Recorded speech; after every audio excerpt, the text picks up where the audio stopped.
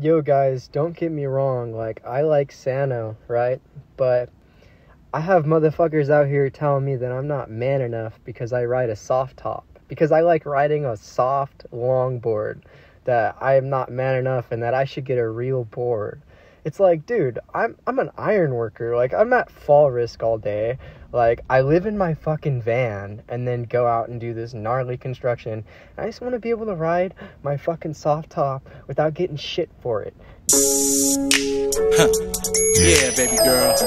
You know how it's going down. 2003. Do or die. JP. Twista. You. Well, what I heard a knock at the door. Must have been a girl that I met on the low. She real thin, nice chick, five four. Had a few in, so we head for the show. Afterward, we hit the mo mo mo. The expo. I was to the shop, had to make to the flow. Yeah, natural, never bought from the stove. Give me a minute and get down with a pro. B I M B B O. Got a few friends like the party for show. We can hit a tune like my home in Depot. All in the mall by Everest. Even Sport Mac oh, on SCS. Platinum Link, all in the fact. I can pick it, but I'm a bad boy check. Put my truck up so I can hop in the Lex. Baby got back, but I'm trying to relax. B L A Y E R. Giving her eyes that we head to the bar. Never get the money cause you know she a star. Do you wanna ride in my car? Do you? Do you?